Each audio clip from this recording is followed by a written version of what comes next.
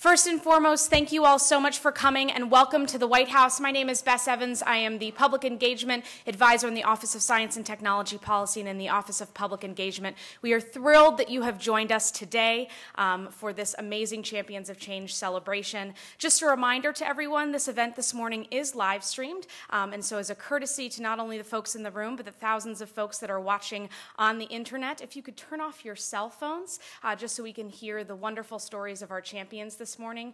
Restrooms, as many of you have probably already discovered, are right out this door. Take a left for the gentleman's room and a right for the ladies' room. I'll be sitting in the back if you have any questions. Um, and thank you all so much for coming uh, and coming to the White House to celebrate these amazing champions with us. Without further ado, I'm going to introduce it to someone who I'm sure you all know well. Um, and let's give her a big round of applause for all of the effort that she's put into this event. Joan Fry, who is a senior policy analyst in the Office of Science and Technology Policy.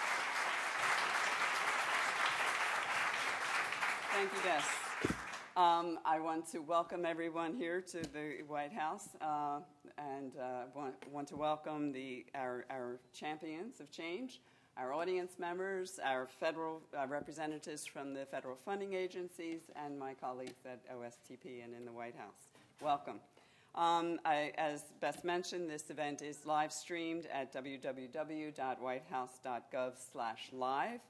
Um, people, audience members, are encouraged to tweet during the event using hashtag um, pound sign WHChamps and I guess hashtag, you can tell I'm giving my age away, hashtag open science. And also I encourage you and um, audience members to check out uh, whitehouse.gov slash champions for more information on the champions bios and their blog posts. Bios, I believe, are already up. The blog post will be posted shortly. Um, it is my, um, uh, before I introduce our opening speaker, I want to invite audience members to submit questions. Um, there will be a Q&A at the end for about 10 or 15 minutes, depending on time. And there are cards in the uh, foyer to my left um, that um, you can write down your question. There will be, uh, Ms. Rubin will be collecting questions, distributing cards, um, throughout the program, and I will remind you of that uh, shortly, so please don't be shy.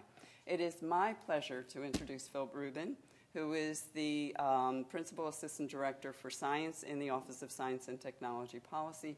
He will be making opening remarks. Phil? Thank you.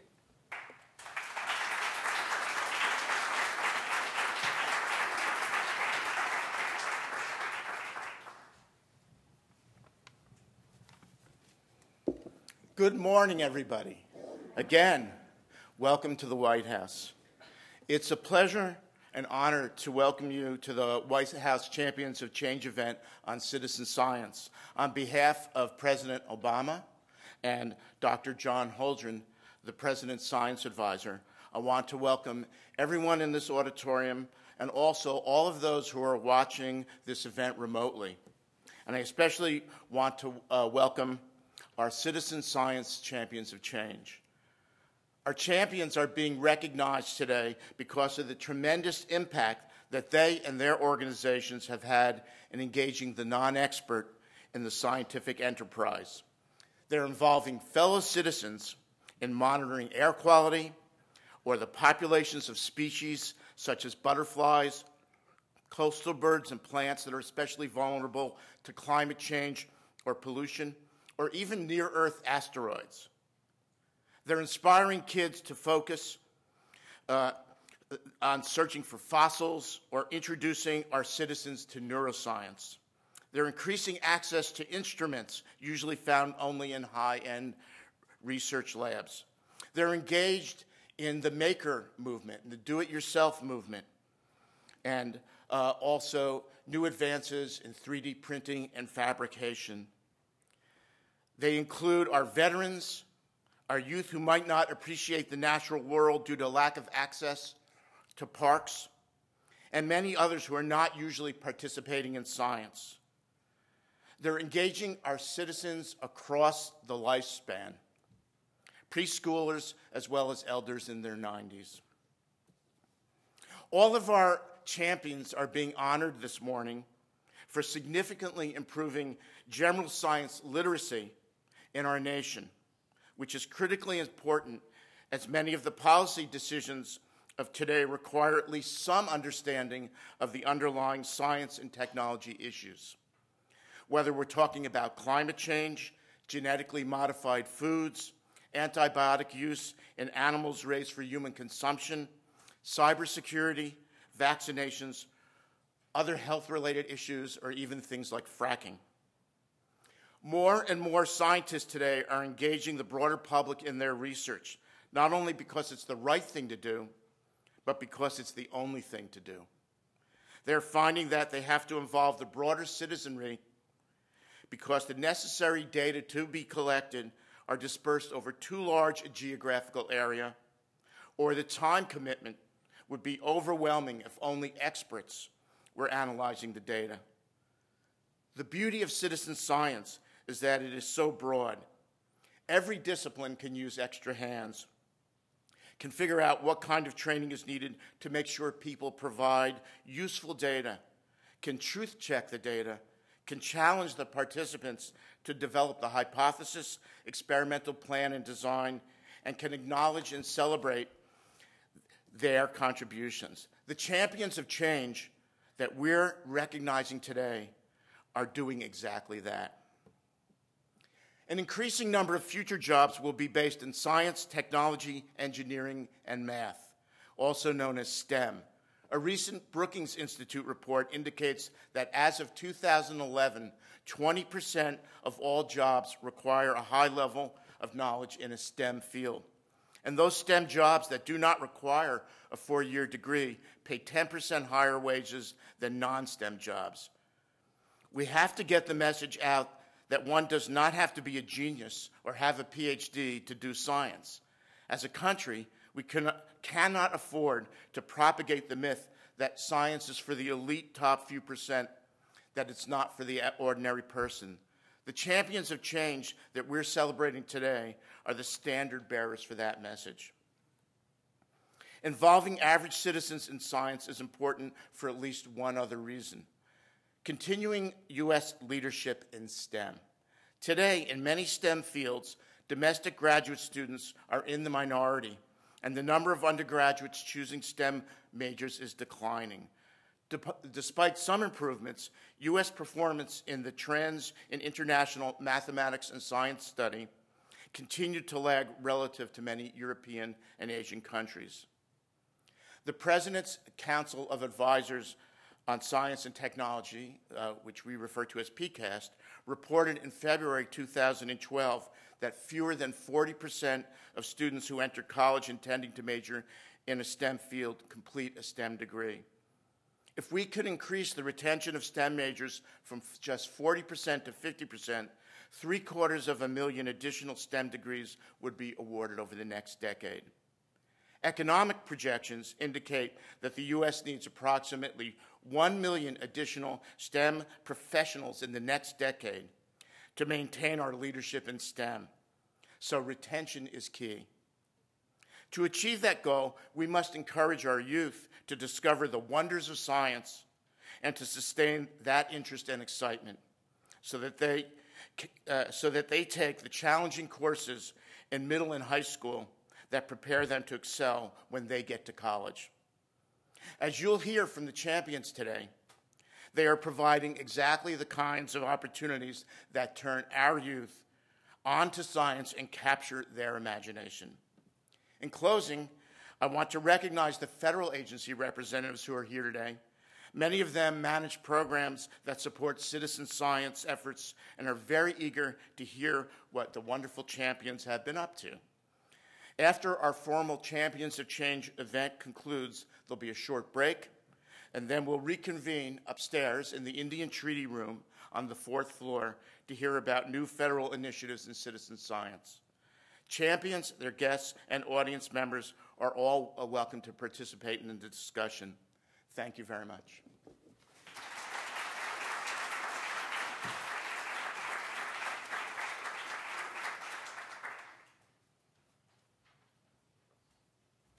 Thank you, Phil.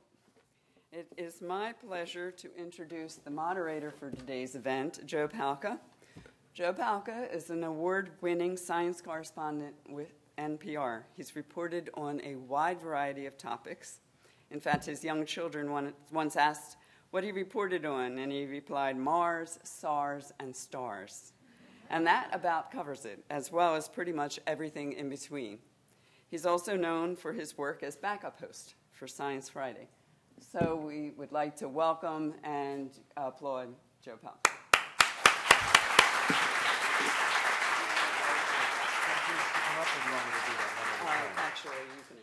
Okay, thank you very much. Uh, can I ask the first panel of champions to come up? I hope you know who you are, but if you don't, I can say your names. Julia Parrish, Eri Gentry, Michael Cohn, Dolores Hill, Sandra Henderson, and Greg Gage, Gregory Gage. Um, we don't have a lot of time. I've asked to be brief, so brief I shall be.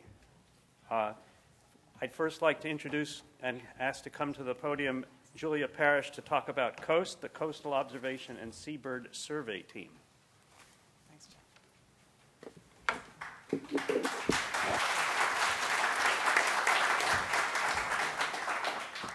COAST started in 1998 with 12 volunteers uh, in Ocean Shores, Washington. And those 12 people were going out on the beach monthly to literally pick up dead birds and figure out what species they were and report that back to me at the University of Washington. Now, 15 years later, COAST has 850 people walking the beaches from Eureka, California, north to Kotzebue, Alaska, and west to the Commander Islands, which are in Russia, right at the end of the Aleutian Island chain. COAST has identified 160 species, has uh, found over 30,000 carcasses identified to species. Pretty geeky, I realize. And we've used that data to uh, figure out what's going on with fishery bycatch, to document harmful algal blooms, to look at avian influenza, to look at the effects of climate warming, and to look at historic use of seabirds by Native Americans as food sources.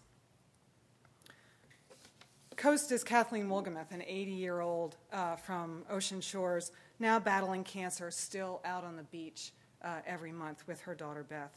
Coast is Robert Ollie Olakainen uh, from Tillamook, Oregon, who, uh, an avid Huskies fan, and I hope he's watching, um, has uh, literally scooped up the whole town um, to volunteer with him uh, and actually made a dead bird float in the 4th of July parade.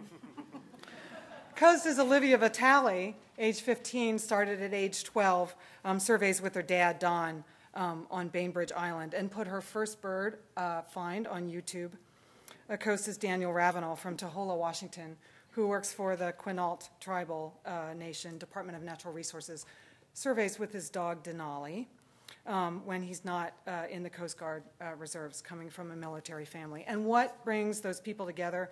It's not their age or their race or their ethnicity, it's not their politics or their education level, it's not their job or their gender. It's that they have a very, very strong sense of place.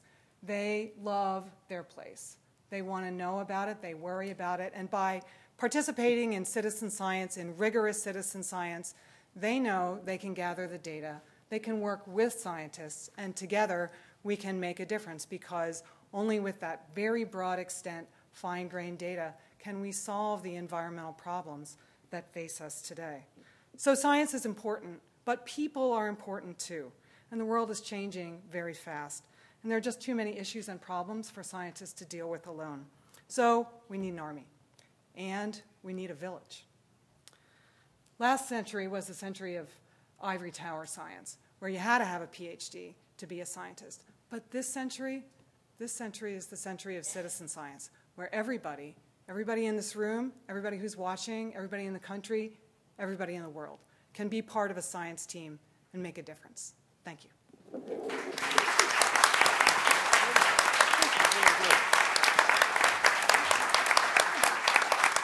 Thank, thank you, Julia. I, I wonder if anybody else had trouble parsing that dead bird float. I was thinking of an ice cream drink all of a sudden. So. Um, next, I'd like to ask Eri Gentry from BioCurious to come to the podium.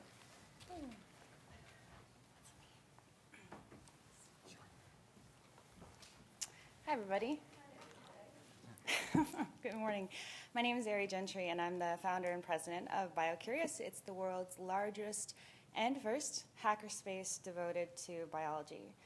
And I'm not a scientist, nor do I play one on TV. And I don't want to say necessarily that I am because, like Julia mentioned, you don't have to convince people that you're a scientist to do good work. And I thank you so much for having me here to say that what we're doing is working. Um, I'm here in large part because when I wanted, when I finally realized that I wanted to do science, I found it really, really, really hard.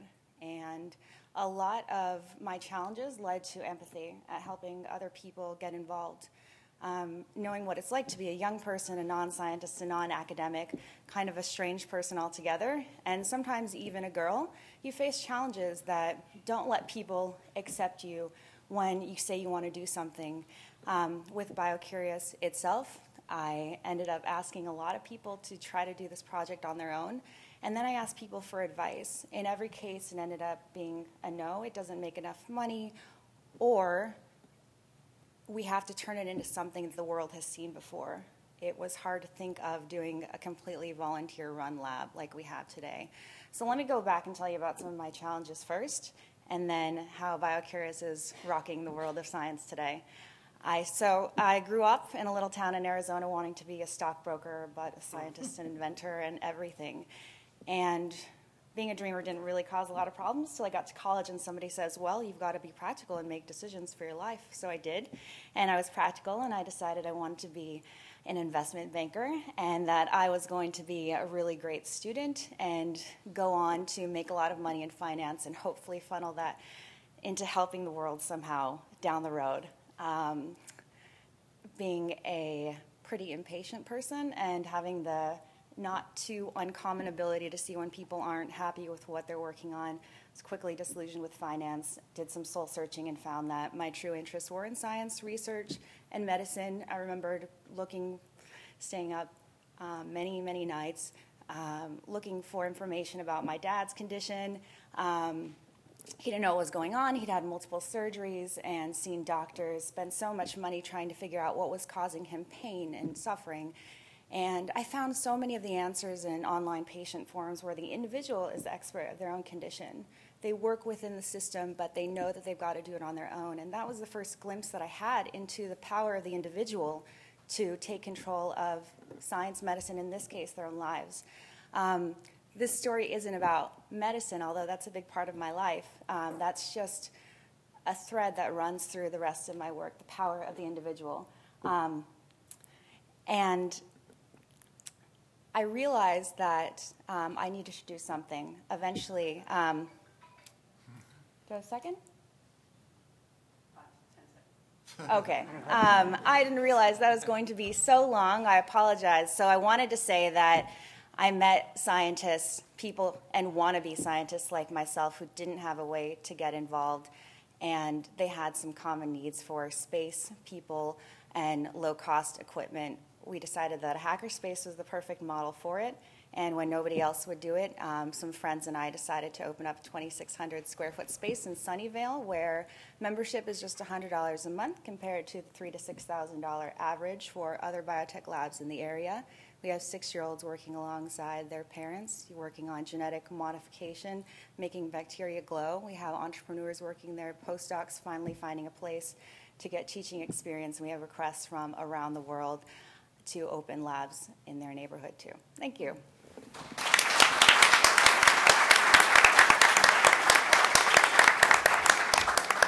Next, I'd like to ask Michael Cohen to come up and talk about the American Kestrel Project, Soldiers to Scientists. Good morning, everybody.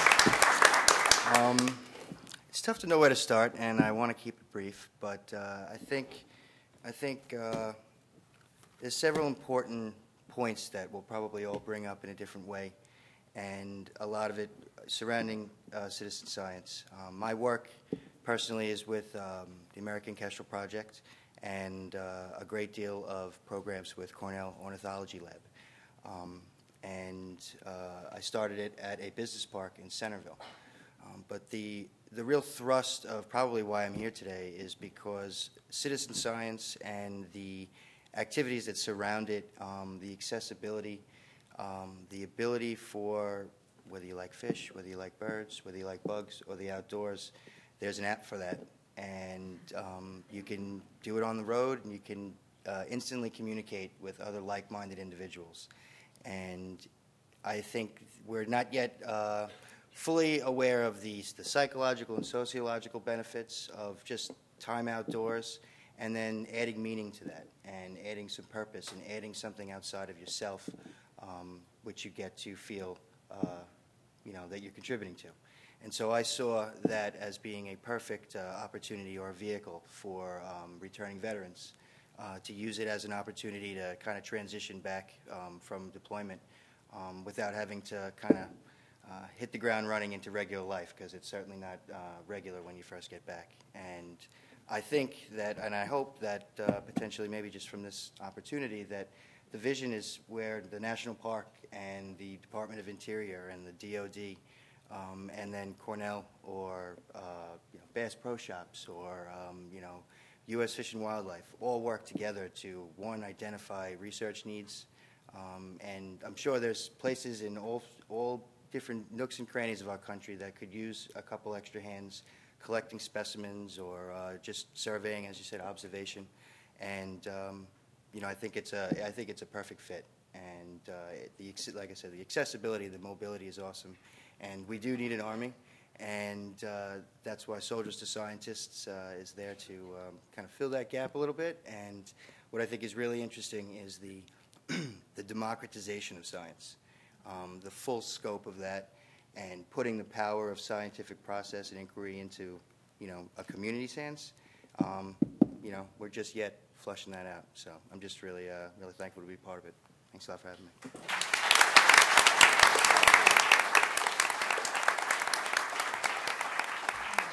Thanks very much, Michael. Um, next, I'd like to call on Dolores Hill from NASA OSIRIS REx, OSIRIS REx mission Target asteroids. Do you think we're safe for today?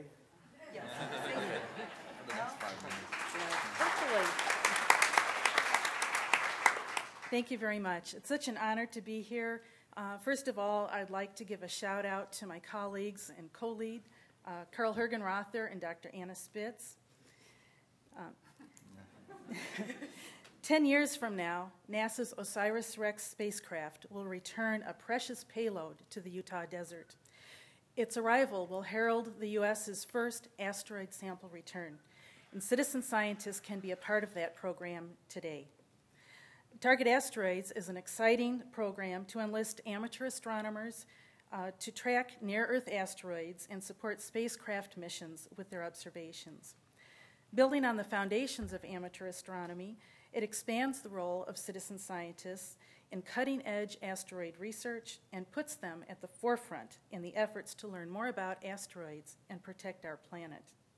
They provide valuable data to help scientists characterize near Earth asteroids and understand the process by which main belt asteroids may become near Earth asteroids. Uh, essential steps to ascertaining the risk of impact with Earth uh, that affects the world's inhabitants. Carl Hergenrother selects near Earth asteroids that are easily accessible by sample return spacecraft or are analogs to our target, Bennu. Observers acquire asteroid images and make precise measurements of positions and brightnesses whenever they are able and submit those uh, via the internet. Many observations are combined over a wide range of orbital positions, and every observation is important. One of the biggest challenges to our program is that some of the asteroids on our list are dark and faint, like our target. Uh, our observers rise to the challenge to capture images. Some don't own telescopes but use remote telescopes in other parts of the world. Those with small telescopes concentrate on bright objects on our list. Uh, we've had a very successful program in our only our first year with 138 participants. We have nine program partners uh, that help us uh, bring expertise to support the program and leverage NASA and private resources. Uh, we look forward to expanding our program uh, and the benefits of target asteroids extends to all of humanity now and in the future. Thank you.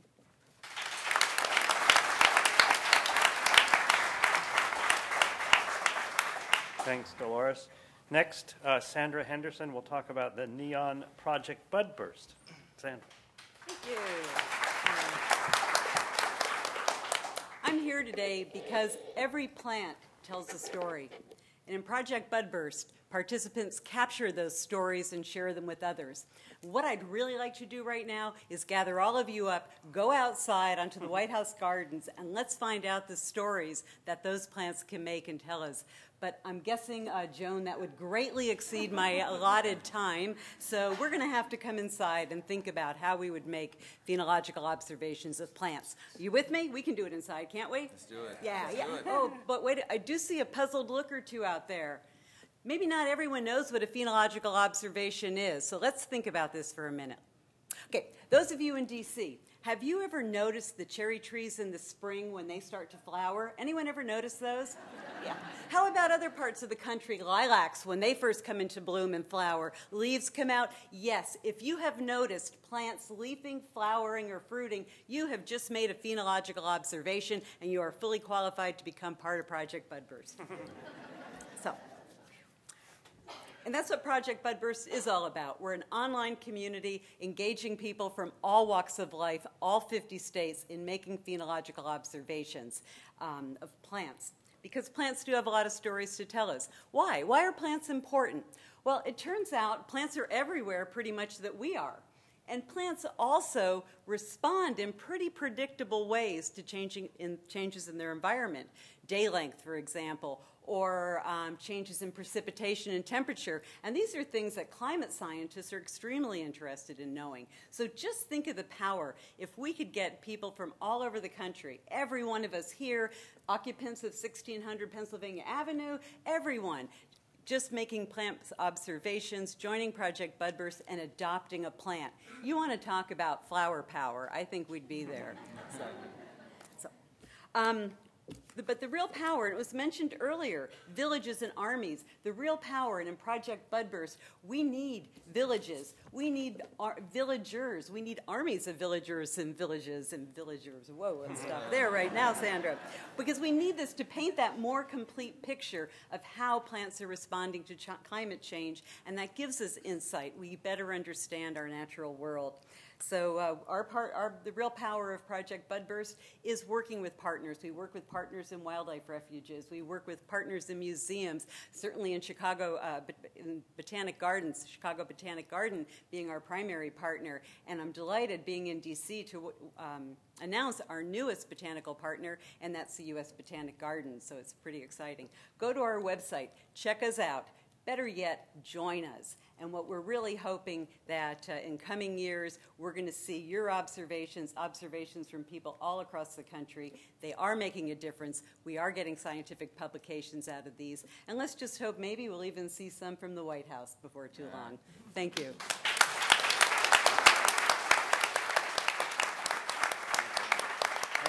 Thank you, Sandra. I'm, I'm stunned. I mean, I want to go out and look at a plant now. Yes. My wife will find this hilarious. Uh, next, I'd like to ask Gregory Gage to talk about backyard brains. Thank you, Joe. Uh, I first of all I want to start off by saying that I'm here to accept this award, but uh, I'm accepting on behalf of my co-founder Tim Marzullo and the rest of the hardworking people at Backyard Brains who couldn't be here today. Um, and the idea of citizen science is, is very personal to me. I was an engineer and I worked for many years after I got my electrical engineering degree at Michigan State, uh, just doing circuits and doing this type of stuff. I always liked science, but I always thought science was just a collection of facts and the stuff that you read. And I always liked to read about those facts, but I never really thought, you know, I could have a career where I actually, you know, gathered and created those facts myself. It just never dawned on me. Uh, when I was I was living in Europe and I saw a flyer on the wall that said there was a, a public lecture uh, for astronomers to come out and they would talk about their research. And that was the first time. It was like many years after I graduated from the university that I realized that I could become a scientist because I would talk to these people afterwards and I thought what they were doing was super cool. And so uh, that I, I instantly changed careers. I, I, quit my job. I went back to graduate school. It was a big shock for my family It was out there. Uh, and then, uh, and so one of the things I, I did with my lab mates is, is we would go out to schools and we, you know, tell them what we are doing as scientists. And like, I'd always try to like press that, you know, you can do this as a career if you like doing Sudoku and all this type of stuff. You might be interested in doing this type of stuff. Uh, and so, uh, but one of the th- one of the challenges we had is, is we're doing really awesome stuff in the neuroscience lab that I was in. I, I chose neuroscience as a, as a career. Uh, but we couldn't do that in the classroom, and so um, we came up with a self-imposed engineering challenge to sort of replace $40,000 worth of lab equipment and make it cheap enough and easy enough that you can use it down to the fifth grade level. And so uh, for the past four years, we've been developing neuroscience experiments and tools and technologies that allow kids to actually record the living brains of, the, of insects. And so uh, just to be really brief about what it is that we do, uh, we have 100 billion cells in our brain called neurons. These neurons communicate with each other using electricity and a very pulse called a spike. Uh, and this spike travels down from one cell to the other. And you can actually listen to that. There's electricity that you can actually plug into, so you can amplify that. And you can start to do like university level uh, experiments down into, into, into the fifth grade classroom. You can learn about uh, somatotopy, you know, like rate coding, like neuropharmacology, all these types of stuff that you normally have to go to graduate school for, but now you can start doing it early because one out of five of us is going to have a neurological disorder. So it's a bit of a shame that we're not like teaching these tools a bit earlier in life. And so that's what uh, Backyard Brains is here to do. So thank you very much.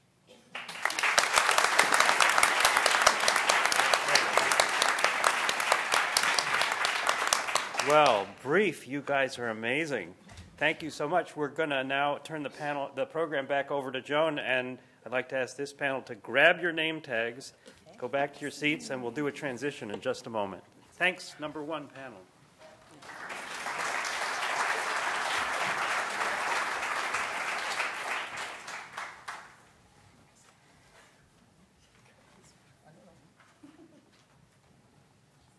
Thank you. This is frustrating. It makes me want to clone myself into 12 entities and volunteer on each project. Um, it's very frustrating, very exciting.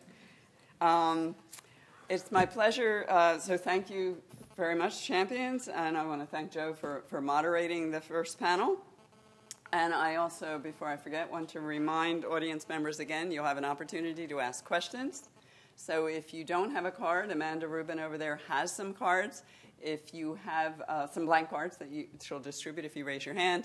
And if you have some questions already written on the cards that you do have, please raise your hand and, and hand them down to her. We really want to have a, a lively Q&A, a give and take at the, at the end of the program today. Um, our next speaker is Ellen McCallie. Um, it's a pleasure to introduce Ellen. She's a program director for the Advancing Informal Science Learning Program at the National Science Foundation. Originally trained as a tropical ecologist, Ellen has worked across the field of informal science education in botanical gardens, natural history museums, science television, museum administration, and at a national centers. Uh, at national centers. Ellen has participated in and published on citizen science extensively. And I encourage you to, to Google her and, and read some of her papers. She now manages many of the National Science Foundation's investments in citizen science. So, Ellen, if you want to come on up. Thank you very much.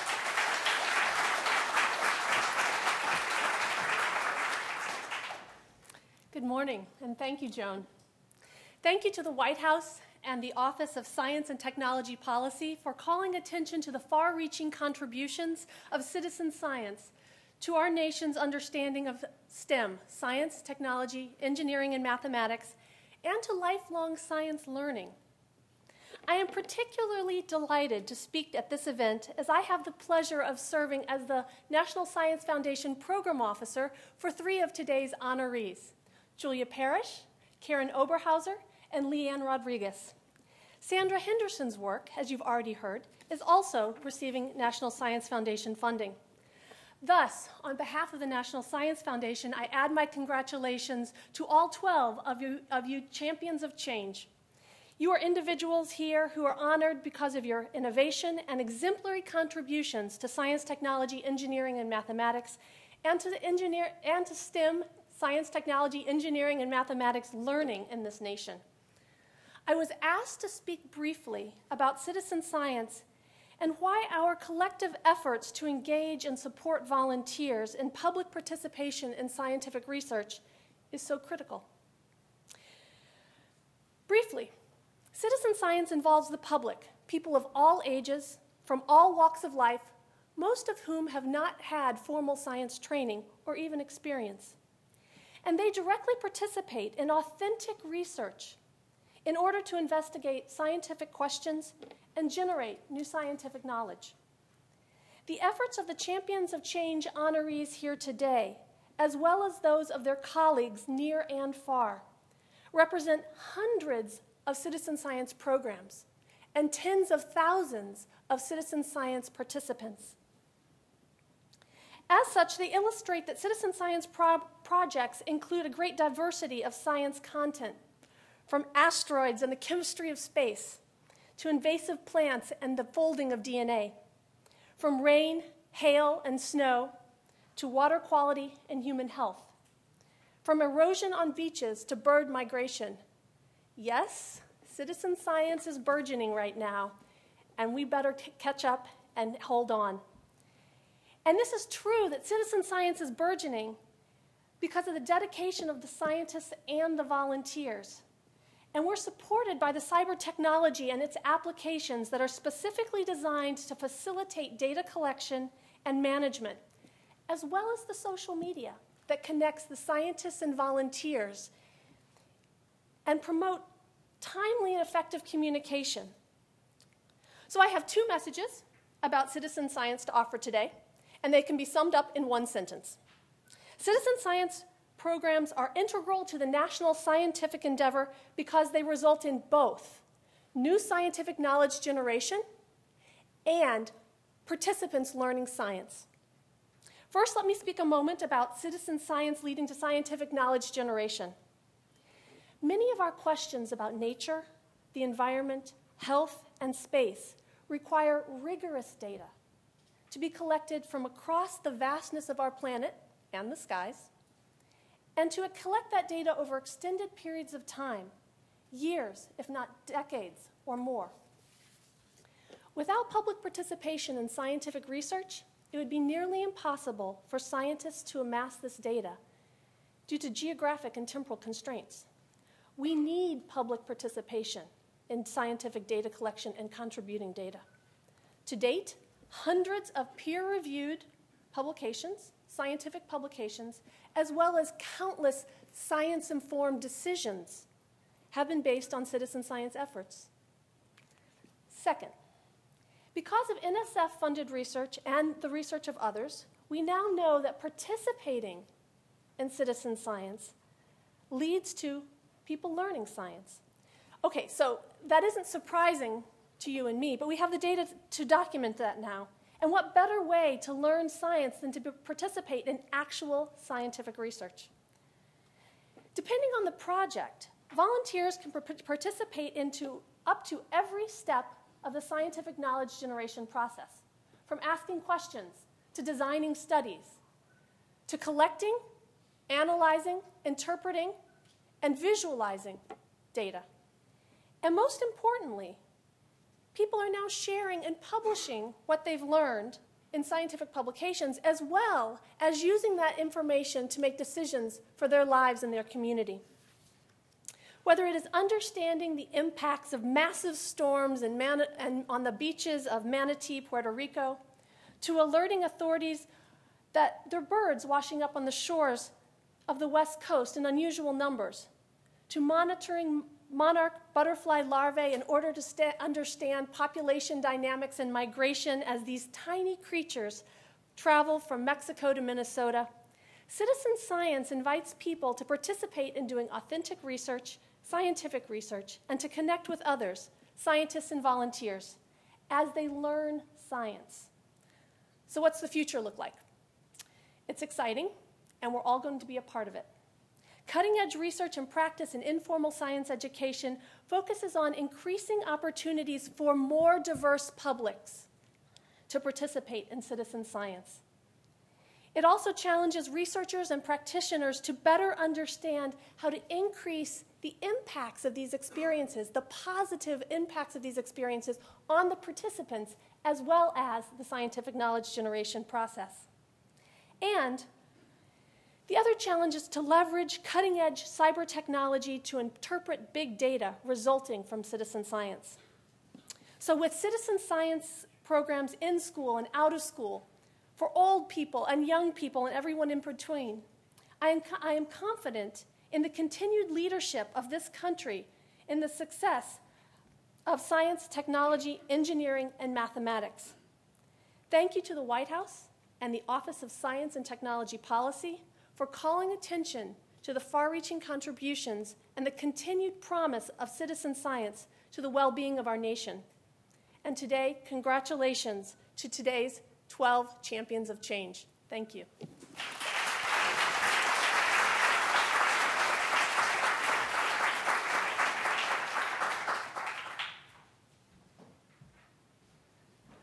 Thank you, Helen, for that. Uh, there is, it's amazing what, it, what happens when you participate in a science project. My own career before I started in journalism began in science, and uh, just briefly, I was a, a visiting a freshman in college and visiting a friend at Stanford, and I needed a place to stay.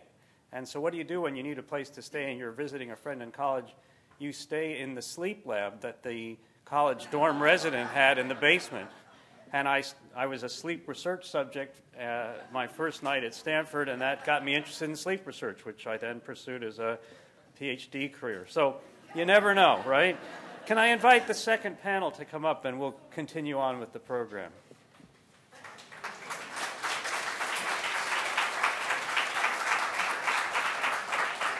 And, and I just want to encourage the second panel to do as good a job at sticking to time as the first panel because they were awesome.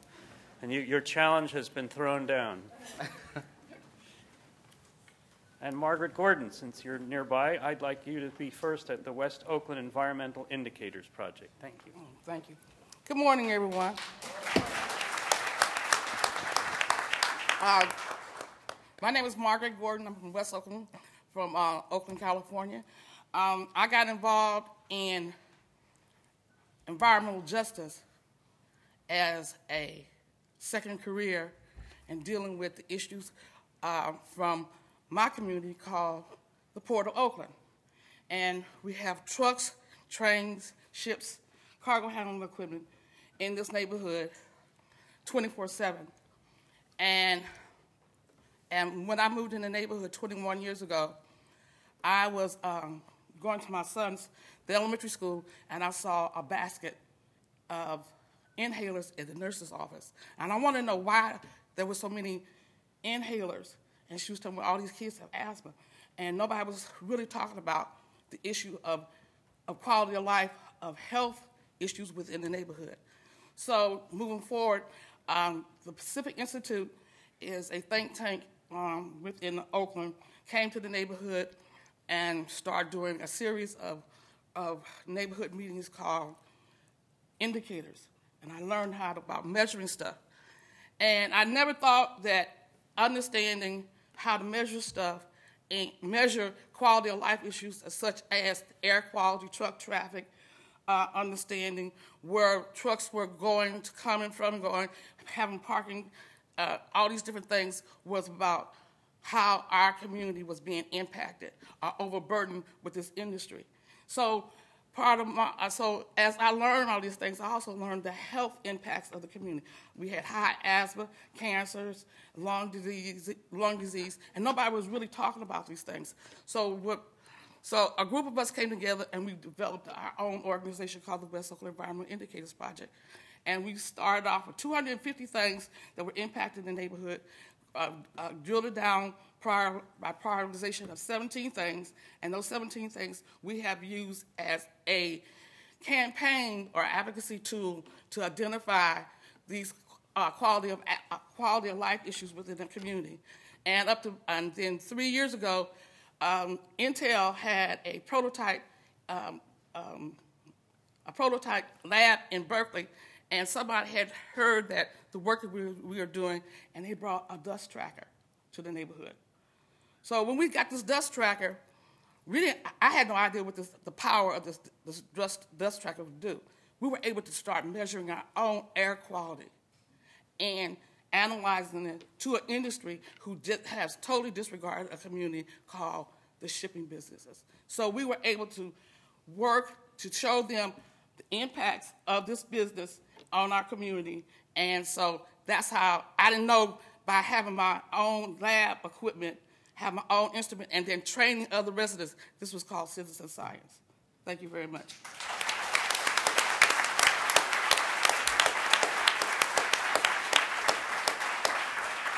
Thank you, Margaret. Now, can I ask Karen Oberhauser of the Monarch Larva Butter Monitoring Project to come on up?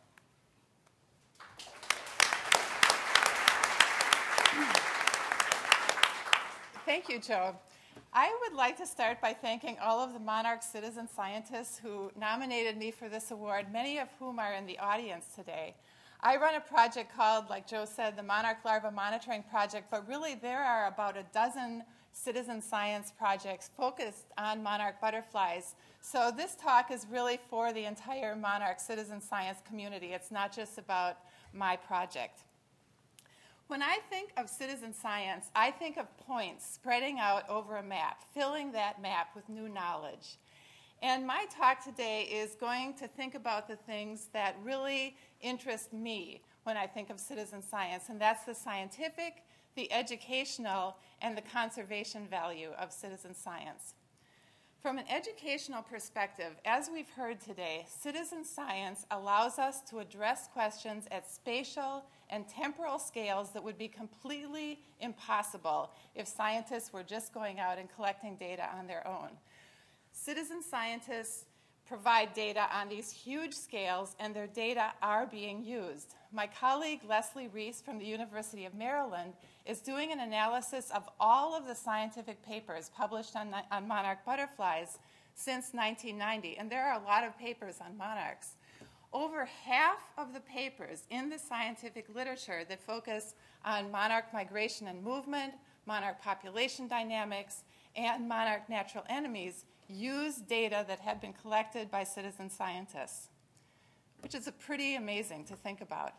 One of the natural enemies papers is based on questions asked by a monarch citizen science, Ilse Gebhardt, who's in the audience today, who raised thousands and thousands of monarch caterpillars, and along with her citizen scientist colleagues, Charlie Cameron from North Carolina and Sandy Oberhauser from Wisconsin, published a paper documenting rates of parasitism by a tachinid fly called Lespesia archippivora.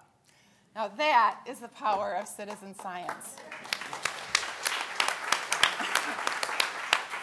As an example of the educational benefits, I'd like to describe a student named Josh Prohl, who was a fifth grader in New London, Minnesota. And Josh took part in a project that we run at the University of Minnesota that's called Driven to Discover in which we use citizen science projects that are based either on monarch butterflies or birds. I know a little bit about other things, not just monarchs. Um, we use these as springboards for independent research for youth that engage with adult leaders. Josh studied a monarch disease called Ophryocystis elektroscirrha, or you could say that 10 times fast tonight before you go to sleep. Um, or OE, you can also say OE for short. Josh, the next summer, attended a meeting of scientists and, and citizen scientists where he met Dr. Sonia Altizer, who's the world's authority on OE. Josh and Sonia talked as colleagues, and um, Josh, so Josh had the opportunity to communicate with a scientist, and he continued to study OE. That's the power of citizen science. And I'd like to end just by saying that citizen scientists, as we've heard, uh, can become an army for conservation. But it's important that citizen science isn't just a tool for documenting declines in, in butterfly or bird or native plant pop- populations. Aldo Leopold once said, one of the penalties of an ecological education is that one lives alone in a world of wounds. Much of the damage inflicted on land is quite invisible to laymen. End quote. Citizen science not only makes these wounds visible to many more people, but it can help to heal them. That is the power of citizen science. Thank you.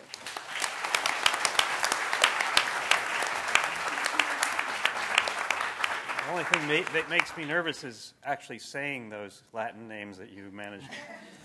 I'm glad that, well, I don't think it's a requirement that if you want to join the project, you have to be able to say those things. Um, next, I'd like to call on John Rowden from the National Audubon Society. John.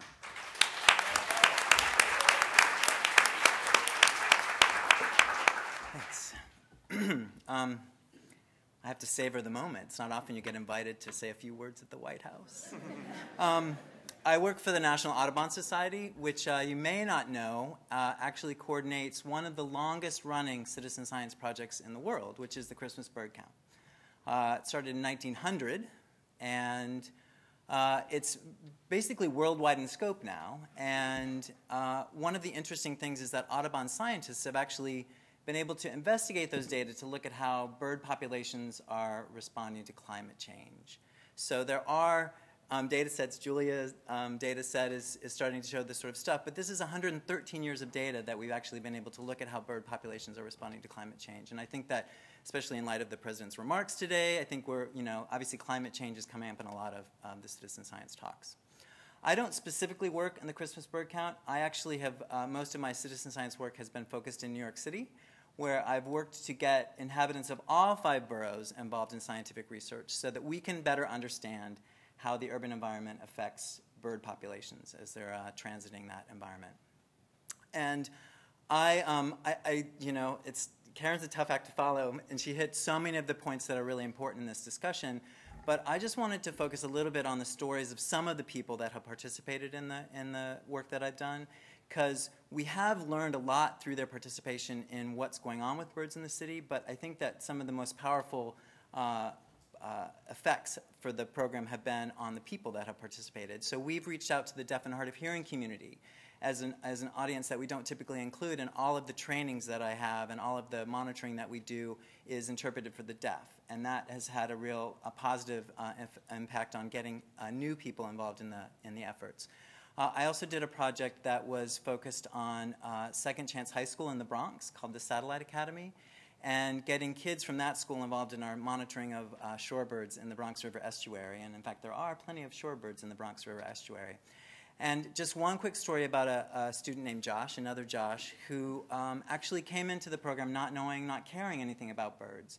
And we trained him in how to collect scientific data rigorously, and he would go out with me and collect data on the shorebirds. And one day he brought in um, his phone, and he said, John, I was hanging out with some friends the other day, and we, there was a bird. We saw a bird, and we had no idea what it was. And he said, I know that John will know what it is. He took a picture of it, and he brought it in and showed it to me. And it was a gray catbird, you know, a beautiful little uh, migratory songbird. And uh, so I told him what it was. We went over and looked it up. We looked it up on the computer. He entered his observation in eBird, which is an online data portal, which is another great citizen science tool. And it was very few observations in the Bronx uh, of that and, um, and actually texted all his friends what he had seen. So, so it's just an example of a kid that had no interest in this, but he actually started paying attention and it started piquing his curiosity about, it, about the natural world, and I think that that's really important. Citizen science, as Karen said, has the power to do that. Thanks.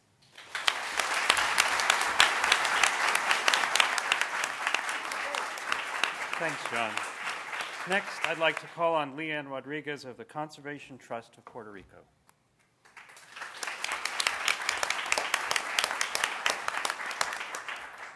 Good morning. My name is Leanne Rodriguez. I work at the Conservation Trust of Puerto Rico at a newly created unit called Para la Naturaleza, and our mission is to secure land of great ecological value. And we have a very ambitious goal of protecting 33% of our land by the year 2033. We know that to achieve that goal, we have to create alliances, collaborations, but most of all, we have to engage the public. And that's where citizen science comes in for us.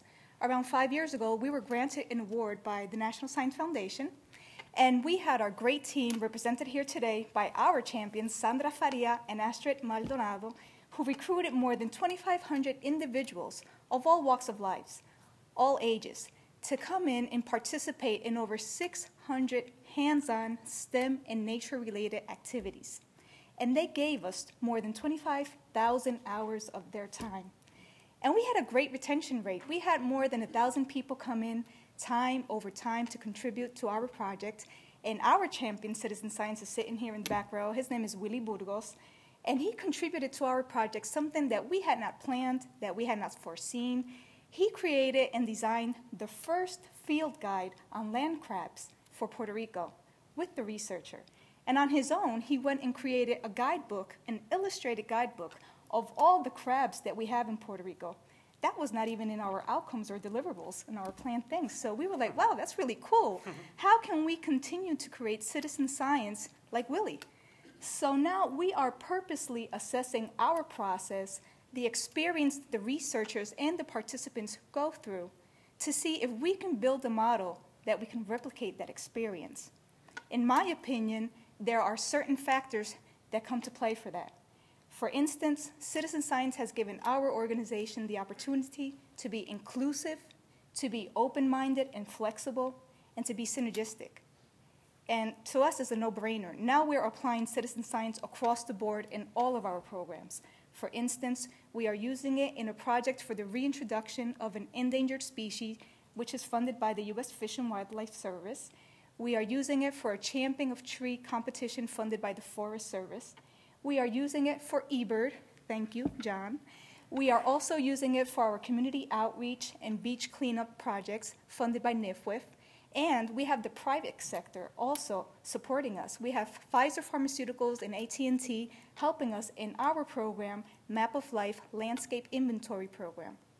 So we've been able to apply citizen science across the board, and to us, citizen science means connections. It has helped us to connect people to one another people to science, most of all, people to nature. Thank you so much.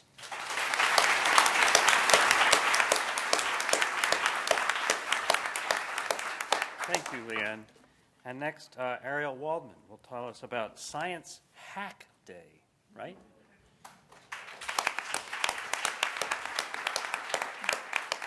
Thank you.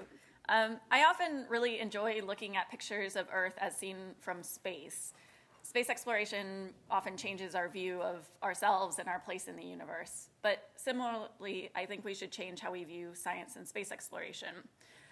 The relationship that most of us have with science and space exploration is one of observation. We're often observing astronauts or government agencies exploring on behalf of us, but we ourselves aren't doing much exploring.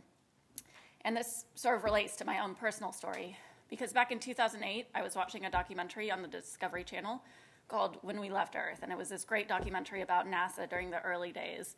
And I became so inspired by this documentary that I decided to send someone at NASA an email on a whim saying that I was a huge fan of uh, everything they were doing, and if they ever needed someone like me, uh, someone without a formal science background, my degree was in graphic design, that I was here. Uh, it was totally a fangirl moment, and I never really expected to hear back from them. But serendipitously, I was able to get a job at NASA from this email, and it completely changed my life. And I got to learn so many things at NASA.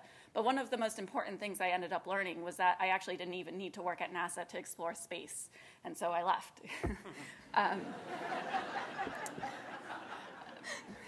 but shortly after, I created uh, spacehack.org, which is a directory of ways for anyone to participate in space exploration, anything from discovering galaxies to building robots and so on. And when I built this, I became frustrated that there was actually a lot of open science stuff out there, but no one was doing anything interesting with it. And so, born out of this frustration, came an event called Science Hack Day. And Science Hack Day is a 48 hour event in which scientists, designers, developers, and all different types of people get into the same physical space to see what they can rapidly prototype with science in 24 consecutive hours. This is really just around the mission of getting excited and making things with science. And my favorite story from Science Hack Day was one where we had someone who wanted to create a, a device that would detect when he needed to shave, essentially a beer detector.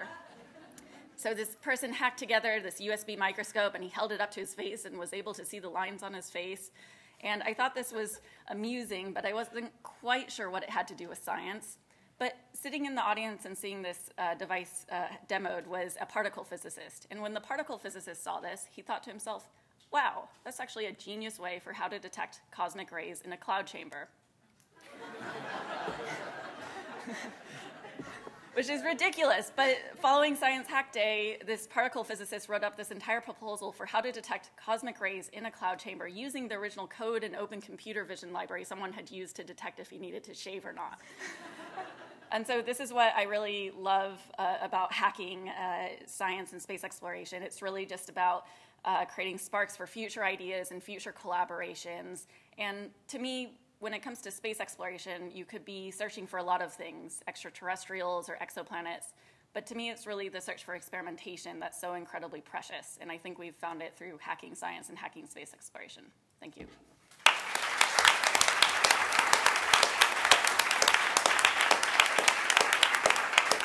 Thanks, Ariel. I have to confess, I had another one of those momentary confusions. I thought she was talking about a beer detector, um, which would also be useful, I think. Um, our last speaker is Jason Osborne of SharkFinder.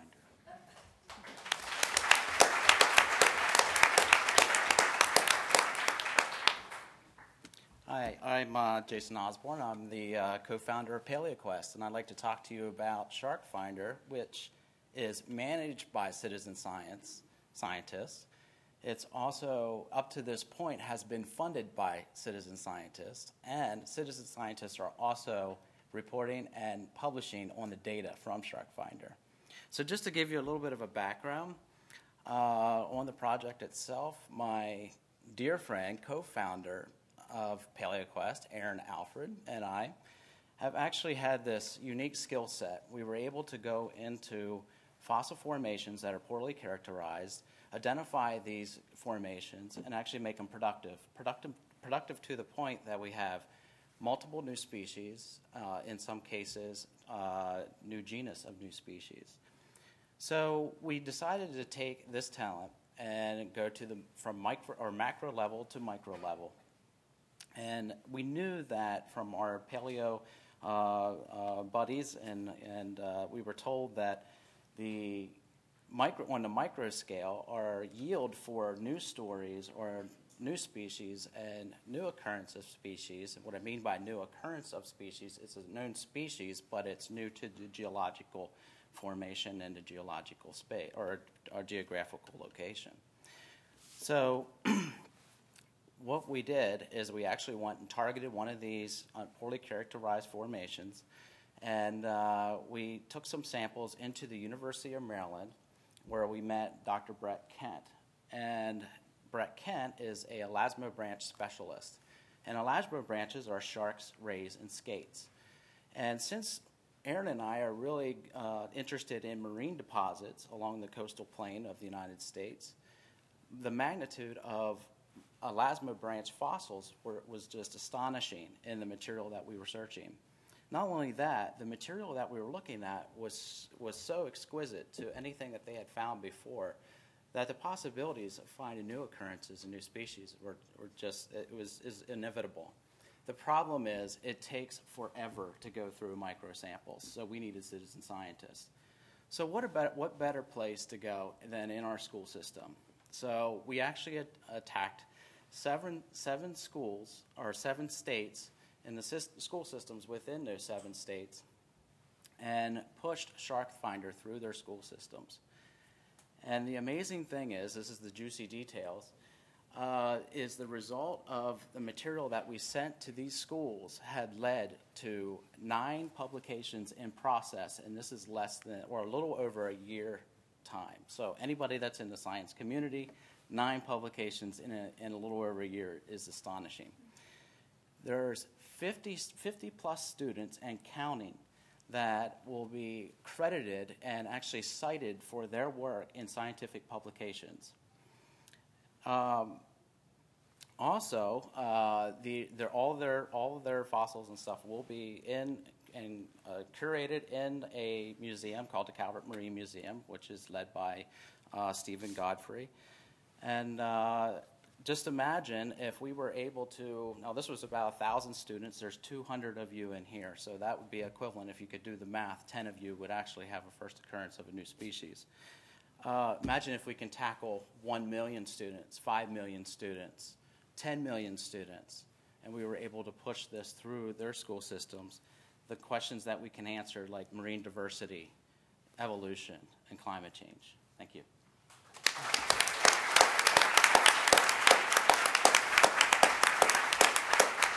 Thanks so much, Jason. And, and now we're going to, I mean, first of all, I'd like to give a very sincere thanks to both panels for sticking to time. And I suppose, I was just thinking about this, it's not, usually when I moderate panels, people, time is not a, a, a variable people are very good with. But I suppose a bunch of science and citizen scientists would be good at it because timing is a very important element to uh, scientific endeavor. And when you want to study the pH change over an hour, you don't want to do it over an hour and 15 minutes. Uh, so thank you, panels. Can I invite the first panel to grab their name tags and sit on the apron here? And we're going to have a Q&A session where Joan is going to hand me cards that I hope you've written, or if you haven't yet, raise your hand and get a card, or raise your hand and someone will collect your card. And provided you haven't said anything nasty or untoward, and provided I can read your handwriting, I will uh, ask the questions and we'll get the panel. And here, I have one idea. Let's give you guys a microphone. Yeah. Sorry, Margaret. So I think you can share. You might have to move around. I'm sorry about the logistics. I would have brought a microphone if I'd known. Uh, okay, are we ready with questions? Everybody comfortable? It's very casual. Okay, question number one.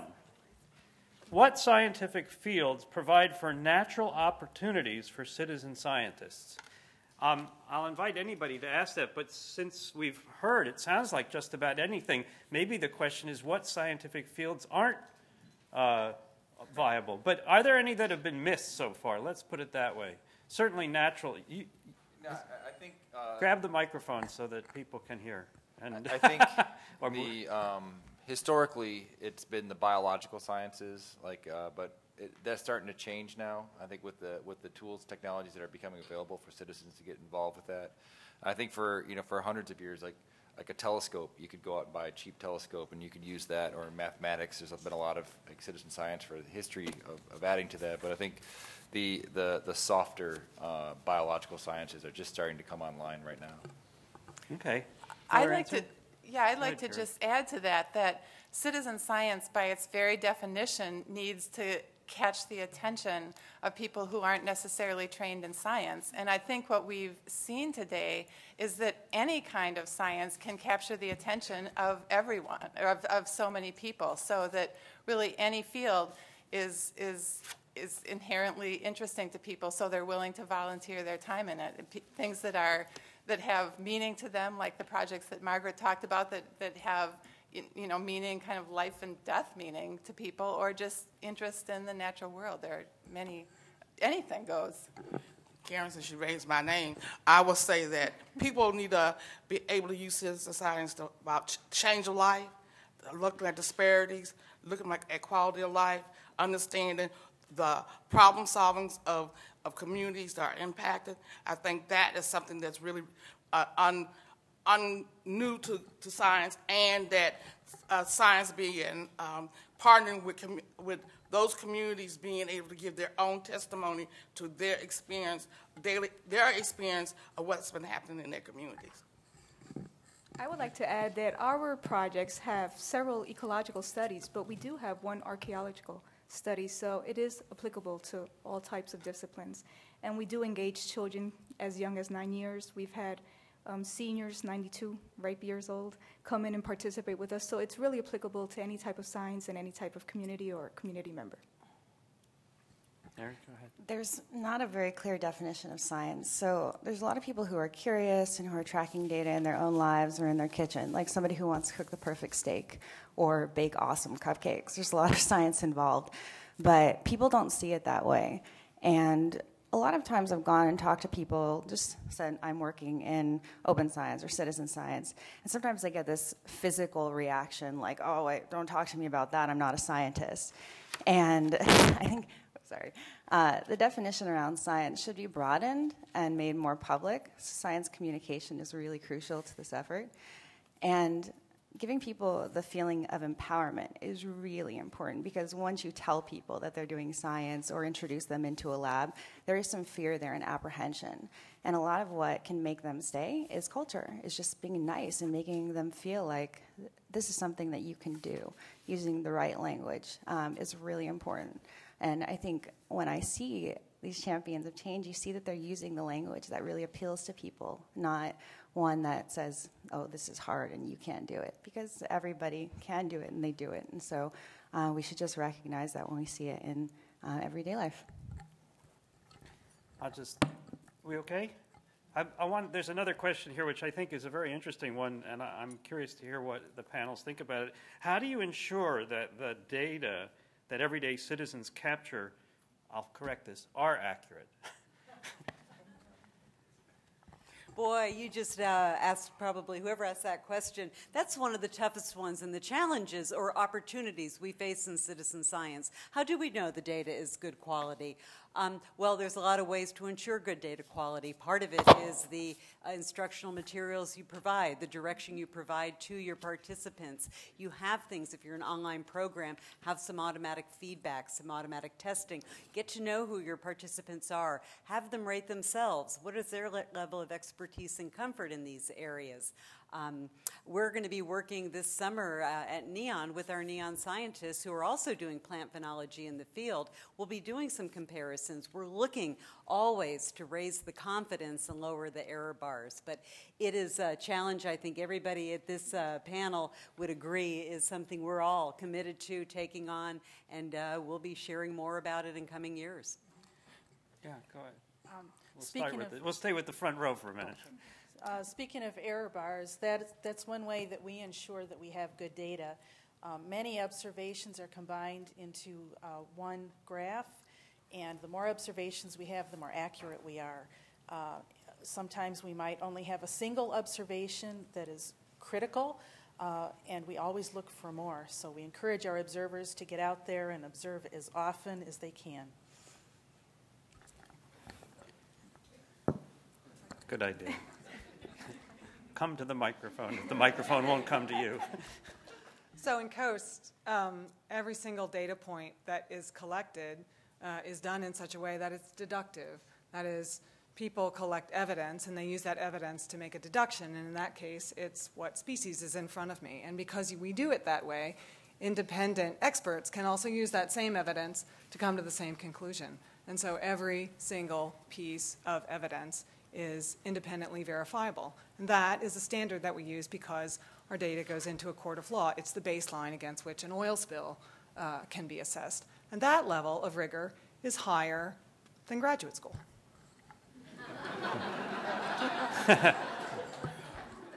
Well, one of the methods that I've, I've used is that I have partnered with an agency. So it could be uh, a, air quality agency, a U.S. EPA, a state air quality agency, and have uh, helped. They supported the community to design the methodology that they were going to use to organize the project. So, like we did a traffic study and counting trucks, and we did use a truck traffic uh, uh, technical or uh, uh, organization that came in and worked with us to identify how many trucks were coming through our neighborhood, what kind of trucks they were, and we had and we u- and we worked in partnership with uh, our local Bay Area Air Quality to establish the, uh, the, our our findings. So so they were so that's one, that's how communities like West Oakland and our low income communities you partner you partner you work in collaboration with a, a agency uh, and also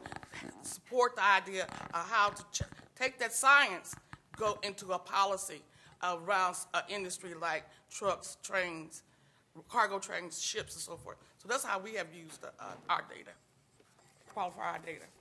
In our case, um, we invest quite a amounts of time and money and resources in training our volunteers. So we do have a core of volunteer leaders, and it's a trickle-down effect. So they become the mentors of the new citizen scientists coming on board in any of our projects. And we do use speaking a bit to what Margaret just said, protocols that have already been validated and used by other agencies or scientific community. So we are ensuring that the data that is coming in is accurate. And then we, of course, we have a quality control within our organization that is always um, looking at the data and making sure that there are no huge mistakes in it. So I, just, just to add, I think that, um, you know, I guess with, with a democracy, it gets, it, it, there's a potentiality for to get a little sloppy at times, and so, you know, um, it's important to have the protocols and the, and the checks. Um, but what I think it also, the one point I would add is that uh, there's a, the whole process of enjoying an outdoor activity or enjoying a hobby or enjoying a different aspect of nature, there is this process of increasing returns. Uh, the more you do, the more you learn, the more you know, the more the process allows for you to engage it more. You can get more out of it the more you do it. And I think that those that come to a certain point and cross over to the citizen science, to a citizen scientist, have brought themselves to a certain level of awareness and um, education. And then once they join with the communities and with others with the, the protocols and, and the, you know, the structure, the vehicle, which uh, these, you know, uh, the programs and, and others uh, provide for someone that, you know, is out in the nether space of the internet but wants to get more involved. Um, it's, uh, I think that's where, that, that's where uh, kind of losing my train of thought, but I just wanted to add that. I think that it's important that uh, the process itself, um, you know, kind of enables that education and enables the individual to kind of understand a, a bit more. Karen, did you want to add something? Yeah, we've, we've heard a lot about all of the different ways that we all use to make sure that the data are accurate because it's very important to us as the leaders of these projects. But I'd like just to add that citizen scientists are volunteering their, their time to collect these data. And most citizen scientists are very invested in making sure that their time is well spent. So, in some ways, that question kind of annoys me because when we think of the way scientific data are collected, often you know, it's not the hotshot scientists who are actually collecting the data. It's undergraduates who might be paying, getting paid 10 bucks an hour. And the, the time that citizen scientists are putting into this project means that they really care about the data. So I might turn that question around and say that citizen science data, as long as all of these different checks and balances are in place, are likely to be even more accurate than whatever, you know, traditional scientific data. I have to agree with that. I see that the think part of my science is to be able to give the, the mother who has to sit up all night long when a child has asthma, understanding why in this neighborhood this, this amount of kids have this many problems or need treatment. Why does this child have to use uh, uh, asthma machine all, all the time? So I'm, I'm, my thing is to make sure that when a new, a new developmental project has come into the community, I don't care if it's a freeway, a new housing development, that that mother has the power to be able to go before city council, any of the agencies to test, give testimony about what her issue is, why she, why is this in my neighborhood, and why, and what you, what she thinks they should be doing to change operations or practices inside the neighborhood. So this, she will not have to lose sleep, time for work, kid out of school. So it's a, it's a, it's a, um, the science also have a methodology to write quality of life. So people need, so what, I think one of the things that people need to understand, everything is about somebody got to pay for it. On the front end on the back end, when communities don't, such as West Oakland, do not have that type of uh, um, system set up, and you have to be able to make your own homegrown system to have people talk about their quality of life. okay. I think I'd like to go on to the, the next question, which I think is an interesting one. It says, What is the most important thing you've learned that has allowed you to be so successful in engaging the public in your project? And by that, I think the question is Is it just a question of putting it there, and if you build it, they will come? Or do you have to engage and promote and sell and what have you? So I'd be interested in the answer to that question. Yes, go ahead. Um, We've been very successful in our first year of a decade long project, mostly because we're able to engage our observers and uh, help them understand the importance of their observations. So they can be in their backyard and make a, a, an asteroid observation or take an image, and that's wonderful. But if they do it and they, they understand how they can actually help us track these things, um, they really feel they're, they're contributing uh, to an overall effort, and that's really important. Ariel, go ahead.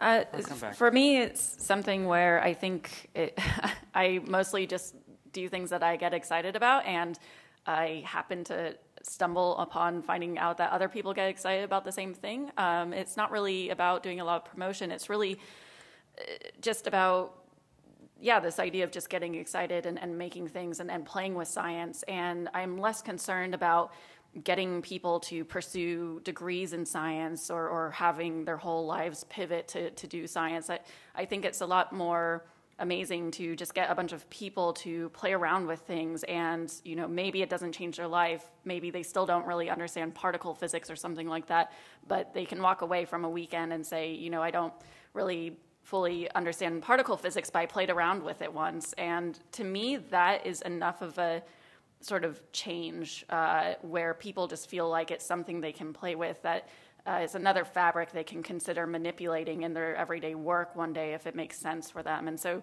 it's really less about promotion or, or convincing people and, and, more just about um, telling people it's just another fabric to manipulate or, or play with um, and just really have fun. Sandra, go ahead. Well, in Project Budburst, we like to say that uh, timing is everything. And for us, this is a pretty new project. We came out um, about 2007. We did a simple proof of concept to see if there was interest in a project um, looking at climate change and having plants give insight. Well, as you all know, I mean, climate change is an enormous topic, and we're going to hear more about it today. But climate change is also a very can be a very scary. Uh, uh, project. It's a lot of unknowns. It's extremely complex, the interconnectedness. And doing something like Project Budburst is empowering. It gives people the opportunity to make some observations, share their observations. Their observations can and are making a difference, and they're not just sitting on the sidelines as um, passive. Um, receptors of the information. So for us, a lot of it was the timing and the interest in how to involve people in climate science uh, research. Like, yeah, go ahead. So I don't know about all you, but I love to discover. So I think discovery is a huge aspect in citizen science. The other part is ownership. So when someone works with citizen science to have and be a part of that puzzle, whatever you're trying to figure out in the citizen science project, that sense of ownership is huge. And I think people want to contribute and want to be a part of citizen science and be a part of trying to figure out Earth's mysteries. And that ownership itself is it's a huge, huge key. And in, in all of us in this panel, if we can provide that ownership, I think that's crucial. I'd like to add, put Joe, in one more just... question. I, am sorry, I want to squeeze in one more question. I'll let you answer the answer it first. But my question, and several people have written this in, so I want to ask it since we're sitting here in Washington in the White House. Um, what more can federal agencies do? What what what kind of support do you need from them? And particularly, is there a is there part of the uh, spectrum, the 18 to 24 year old uh, age group that's being missed, and how can federal agencies help capture that? So maybe you can well, I, I think I can at least tangentially address that. Sure. I mean, one, John, one other one other aspect of I think um, reaching people is making it relevant to them, and um, so that's meeting them where they are. You know, so in fact, if you are trying to reach the deaf and hard of hearing community, you need to make it accessible to them. If you want to meet, um, if you want people in the Bronx to be invested in what you're doing, you need to take it to them and, and ask questions that are relevant to them. And so I think that that gets at, you know, if we're missing at chunks of the population, be it 18 to 24 year olds, be it people of color, be it um, whatever, you, um, you need to take it to what they need. And there's, there's one um, uh, aspect of citizen science, um, you know, the way that we develop our projects. And there, there's from the contributory, like the Christmas bird count, to the co-created, where you're actually working with communities to develop their projects along the lines of what Margaret does. And I think that that's an important thing to recognize is that that's an, a, a, very important way to, as going forward as we develop citizen science projects, to work more with communities to develop the projects. Um, I, I want to add on the, the latter question that you said. One thing that Washington, D.C. could do if you have an agency called USEPA, and that's supposed to be uh, Environmental Protection Agency, really do their job of protecting the people. Also, if you want this economic engine called of shipping and trade to happen, be more mindful of where people live, work, and play that's connected to that industry. So I'm so, and then if you put in public health inside some policy, carry out the public health mandates inside of your department. I see, I have, I have a problem with agencies saying we are doing environmental justice, we are doing public health, we are protecting the people, but they have no real policy mandate when it comes down to the local level. They could do a lot of stuff on the federal end, but nothing down to the uh, down to the real community impacted end. So that's what that's what DC could do for me. Well, I I have a stack more questions, but I also know that we have no more time. So I'd like you once again to thank the panelists and congratulate yourselves. And I'm going to turn the program back to Joan Fry. You guys can go sit down.